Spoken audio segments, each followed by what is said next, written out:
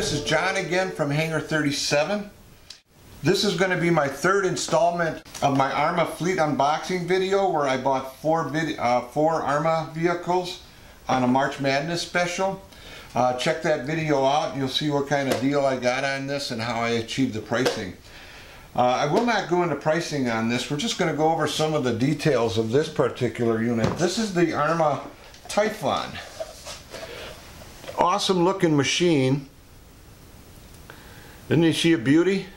Look at that. Comes in at about seven pounds without the battery. Now, this is a 60 plus mile an hour vehicle. It comes with a BLX 2050 kV motor and 150 amp ESC.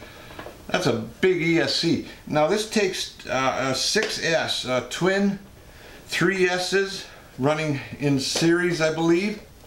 Or you can run a straight 6S on here. Now what I like about uh, Arrma on all these vehicles that I got, they've got the tethered pins, body pins. Awesome. I don't know why all of them don't do this, to be honest with you. Uh, it's really handy. There we go. Look at that. Isn't that nice? And they've actually got wear, I don't know if you can see those, they've got wear pads in here. These striped things you see here. That's if a tire hits, that it's uh, it will not scratch through the paint from the inside. Uh, very good idea, good uh, planning ahead because th these are going to hit certain things on here when jumping. Okay, we're going to put that aside and uh, uh, this is this comes with a manual which is kind of universal uh, this one is for the uh, the Typhon, the Talion, the Kraton, and the Senton. And it's a little bit under, difficult to understand at first because they show all four for each each individual class of item they're showing information on and uh, I'm not real impressed with it um, I've seen better manuals they do give you a nice speed chart here though I hope you can see that. And it tells you what battery to use and what gearing to use to get to the maximum speed on this. And uh, that's going to come in handy when I want to mess around. They do give you a bigger pinion gear. And this I will put in later. I'm going to run it stock on the radar run, see what kind of speed I can get out with it. And then I'll put that uh, higher gear in and we'll see what kind of speed we get with that then. So, uh, there's a bunch of other little stuff in here. These look like battery extensions that you can put on if you want to use a, one, a straight 6S. And they also give you uh, the XT90 uh, connectors that you could put on your batteries. I'm going to use adapters, which is not the most recommended thing to do. Uh, I'll uh, I'll run them, and if every if I get too hot, then I might put these on my batteries. But I'm going to go ahead and do it with adapters now. Uh, one of the things I, if you're serious about this hobby, you will get yourself a ton of adapters. Uh, on the 2 and 3S, it's pretty standard to use these because you're not talking uh, real high voltage and heat. But when you get into the XT90s and you drop down to an XT60, uh, I may have a problem with these soldering points. I don't know.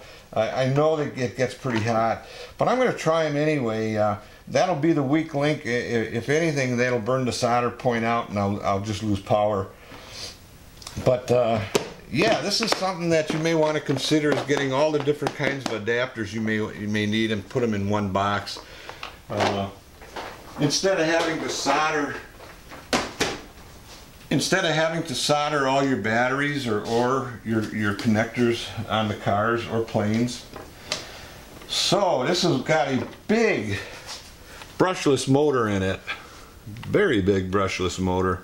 A 2050 kV. And uh, it's got a steel mount. Uh, okay, there's ball bearings in here.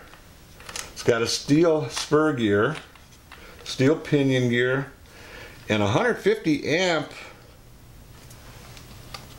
uh, 150 amp ESC which is right here. It's got a fan on it and it's got a big servo. I'm not exactly sure which servo is on here for the steering.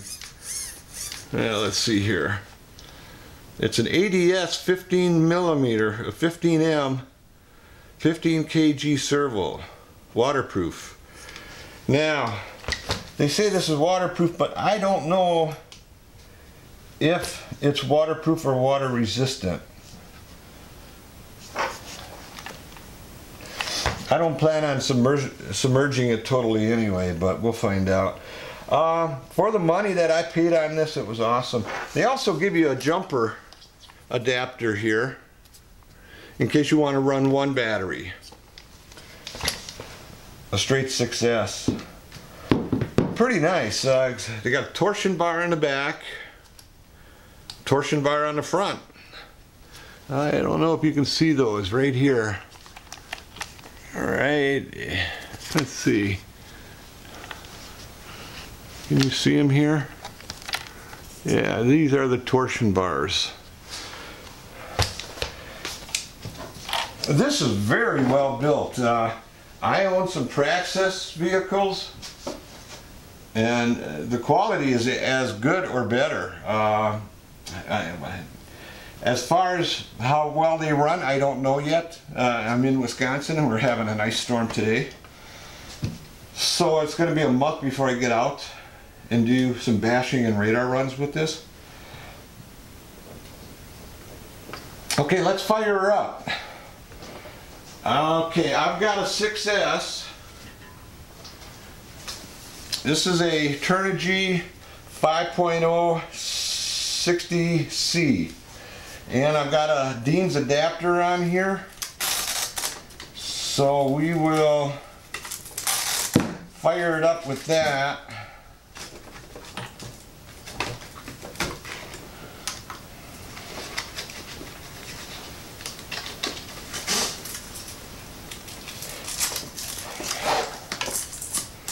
They got a nice setup. This tray just fits, this battery just fits in that tray. I'm only hooking up one strap for now uh, because I'm not going to run it. I'm just going to fire her up.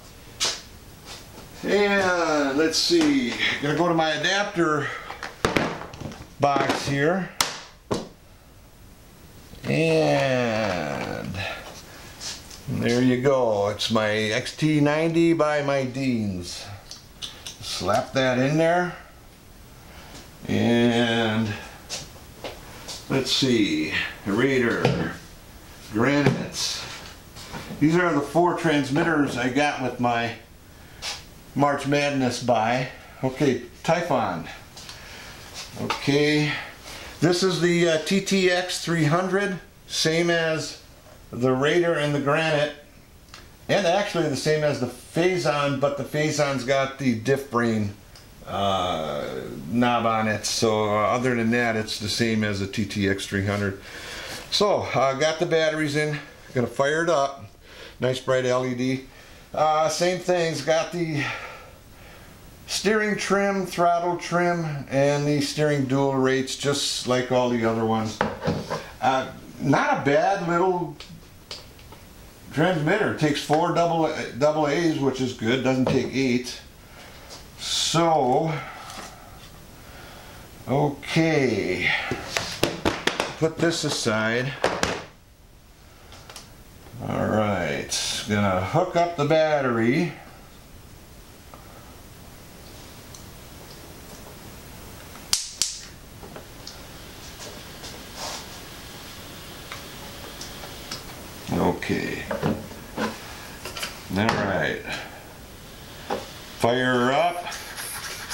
Nice steering servo.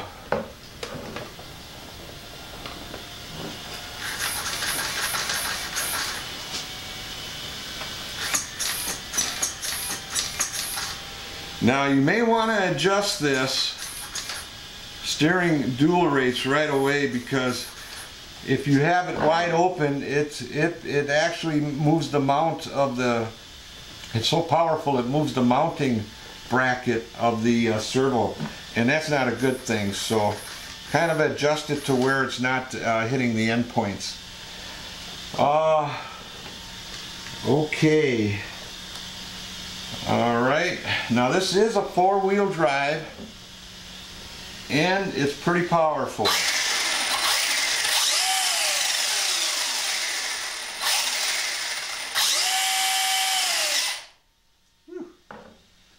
Lots of power there. I'm gonna zoom in here and see what we can show you on that.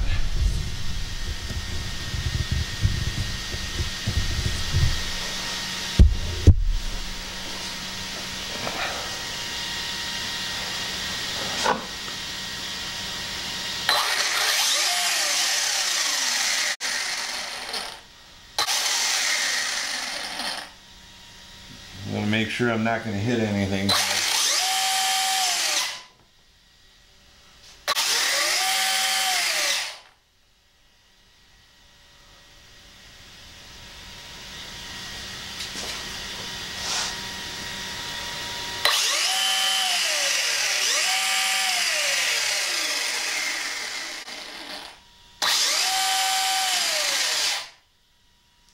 Okay.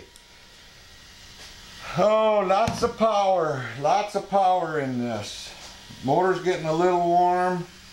Fan, uh, ESC is fine yet. So, uh, this is high quality. Very high quality. It's got aluminum uh, oil shocks with the boots on the shafts to protect any debris from getting in there. Um, got the uh, screw adjusted you don't have to put spacers in there. Okay we're going to shut this off. The switch is on the inside right next to the ESC on this one. And this one you do have to take the body off to get the battery in. So we're going to disconnect the battery.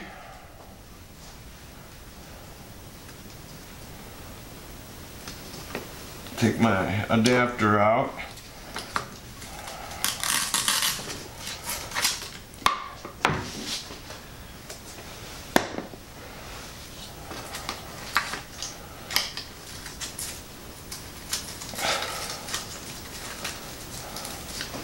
And we will put the, the body back on. And there's three pins that hold the body here.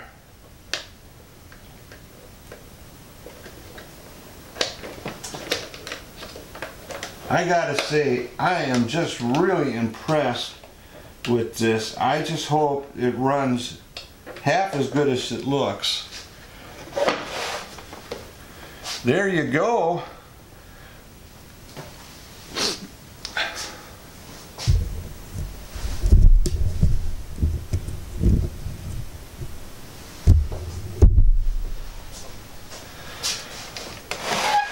Okay. There you go, the Arrma Typhon 60 plus mile an hour 6S BLX. Awesome, awesome, can't wait to get it out.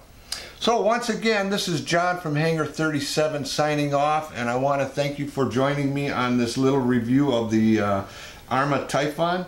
Watch for the uh, radar runs to commence on this hopefully within the next month. And uh, do a little bashing with it after I get my radar runs with both sets of gearing. Don't want to ruin it before I get the chance to find out how fast it is.